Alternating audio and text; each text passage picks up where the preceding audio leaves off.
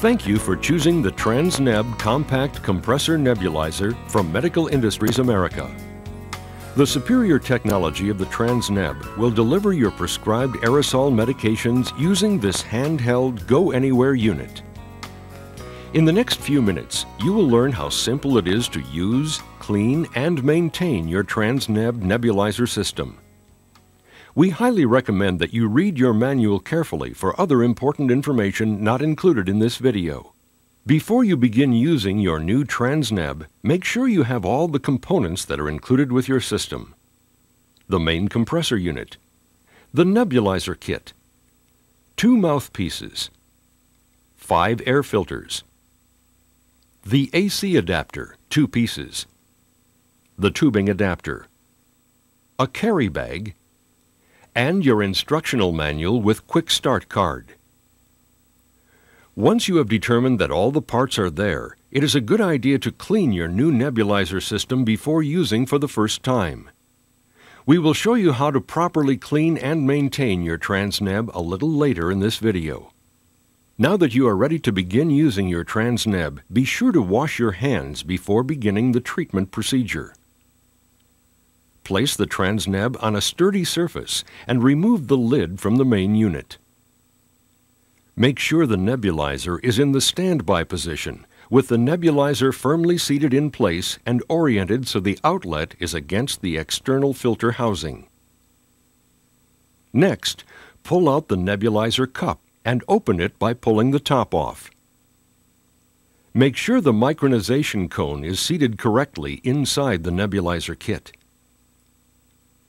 Now pour the prescribed medication into the cup of the nebulizer kit and be careful not to exceed the maximum quantity allowed of 6 cc's. Make sure to never pour the medication into the nebulizer seat or pump area of the compressor, as it will damage the pump. Close the nebulizer kit by firmly pressing the top down onto the cup until a click is heard. Replace the nebulizer back into the compressor, making sure it is firmly seated in place and oriented so the outlet is against the filter housing. Rotate the nebulizer top clockwise until the desired position is reached. Connect the mouthpiece. Now insert the plug into the electrical outlet. Insert the AC adapter into the plug on the side of the main unit. For added portability, you may purchase the optional battery or auto adapter.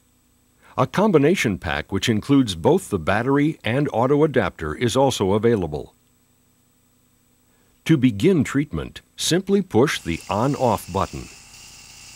Place your mouth completely over the mouthpiece and breathe in slow, deep, controlled breaths. It is recommended that you keep the mouthpiece in your mouth while you exhale.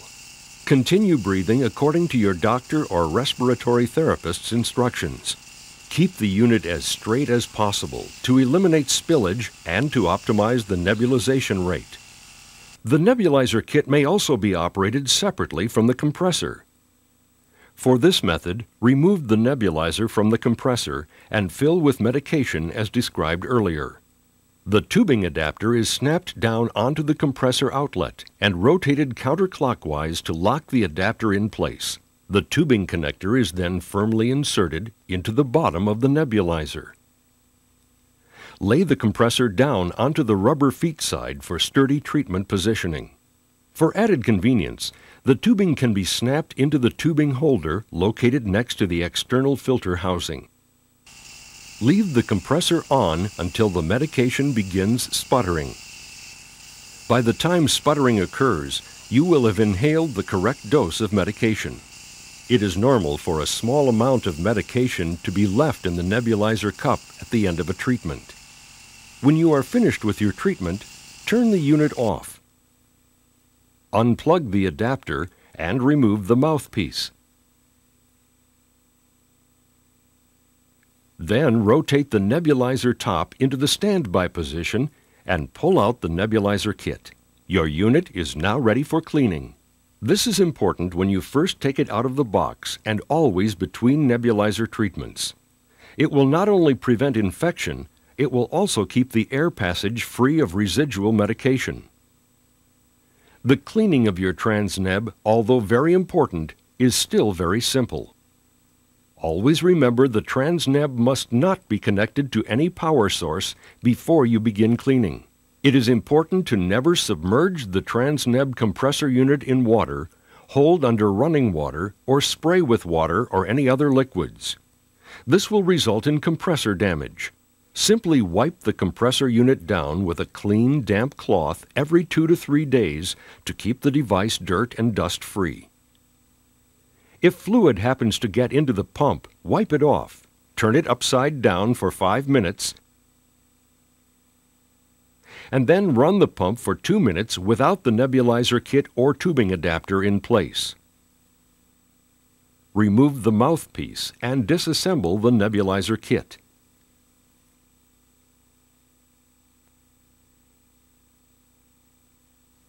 Boil the components in water for a maximum of 5 minutes or autoclave them at a maximum of 121 degrees Celsius for 10 minutes.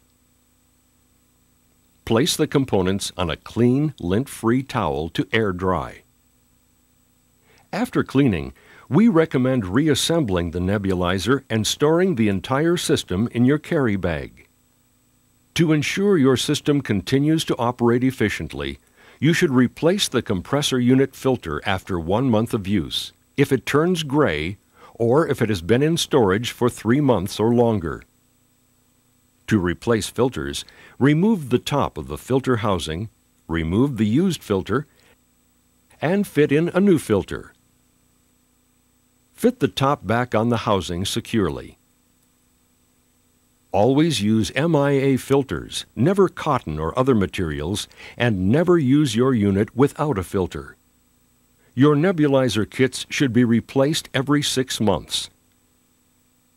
You are now set to start using your Transneb nebulizer compressor system and experience the freedom and convenience provided by this simple to use and very transportable unit. Once again, we would like to highly recommend a thorough review of the Transneb operating manual for important safeguards and complete instructions. You may also refer to the Quick Start card found in your manual for fast how-to reminders please contact your local dealer if you would like to order other Transneb parts and accessories offered by Medical Industries America.